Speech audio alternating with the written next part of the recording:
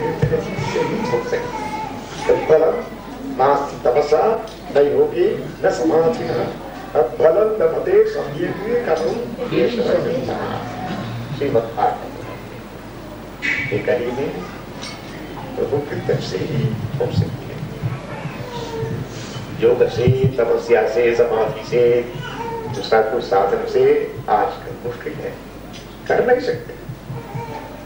नाम संकीर्तन हो सकते सतयुग में दस साल से जो मिलते हैं तो कहना युग दस महीना भी मिल जाएगा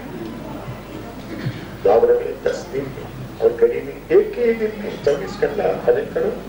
ज़रूर हो जाएगा। भाव होना चाहिए श्रद्धा होना श्रद्धा से काम भजन करो। ऐसा भजन करने से सब कुछ भजन हो जाएगा। खाना पीना सोना सब